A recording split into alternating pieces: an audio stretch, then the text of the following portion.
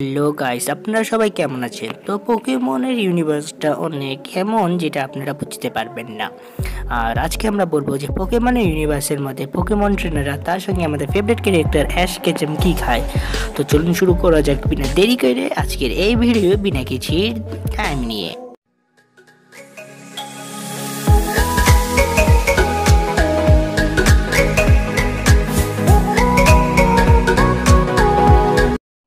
পোকেমনের ইউনিভার্সের মধ্যে আমরা কে বুঝতে লাগবে যে পোকেমনের ইউনিভার্সটা কীরকম? তো পোকেমন ইউনিভার্সের মধ্যে শুধু পোকেমন আছে। হ্যাঁ কখনো কখনো নর্মাল আমরা অ্যানিমাল দেখতে পারি মানে পশুদেরকে দেখতে পারি কিন্তু ওগুলো পোকেমন কোম্পানি কোনো অফিসিয়ালি বলে নাই যেগুলো ওই ইউনিভার্সের মধ্যে ওই নর্মাল অ্যানিমাল আছে কিনা।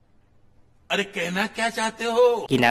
তো সর্বপ্রথম আমাদেরকে বিচিতে লাগবে যে পোকেমন ইউনিভার্সের মধ্যে মানুষ কি পোকেমনকে খায়?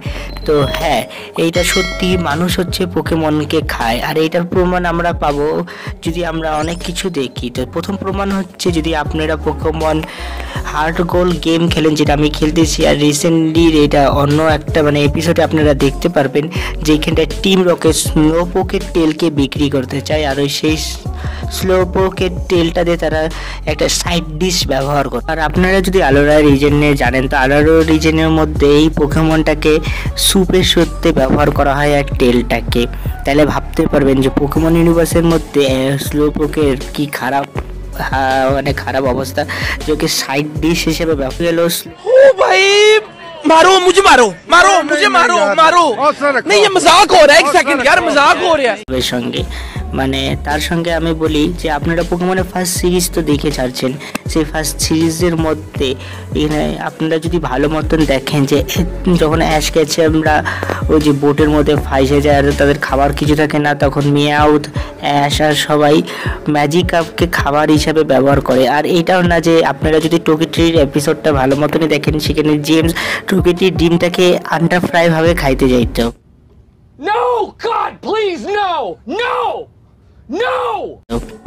তার সঙ্গে তারা ক্র্যাবিকে কারি চাওয়াল হিসেবে খায় মানে কারি তরকারি মানে এমনি তরকারি যেরকম কাঁকড়া ঝোলের তরকারি ওরকমই তারা ক্র্যাবিকে খায়। আর আপনারা বলতে পারবেন যে পোকেমন ইউনিভার্সে ভেজিটেবল নাই। তো হ্যাঁ পোকেমন ইউনিভার্সে ভেজিটেবল আছে, কিন্তু যেগুলো হচ্ছে গ্রাস টাইপ পোকেমন বিশেষ করে ওই পোকেমনগুলোকেও তারা খায়। আপনারা এখানে প্রমাণ পাইতে পারবেন যে কোন গ্রাস টাইপ আর তার সঙ্গে কোন ফ্লাইং টাইপ পোকেমনগুলোকে তারা খায়। এটাও আমি ডিটেলসটি আপনাদেরকে বলে দিচ্ছি। তারপরে এই গ্রাসটায় পোকেমনটা একদম একটা ফ্রুটের মতনই লাগে। তো পোকেমন ইউনিভার্সের মধ্যে এটাকে বেরি হিসাবে মানে একটা কুল হিসাবে খায়। যেরকম আমরা নর্মাল কুল খাই ভেবে তারা কে এটাকে নর্মাল চাও ভাবে খায় নেয় আর লিস্টের আমাদের নতুন লিস্টের মধ্যে মানে রিসেন্ট জেনারেশান যেরকম সোয়ারেন সিলের মধ্যে, এই পোকেমন পোকেমনের নাম হচ্ছে অ্যাপেলটন উচ্চারণ করতে একটু ভুল হবে।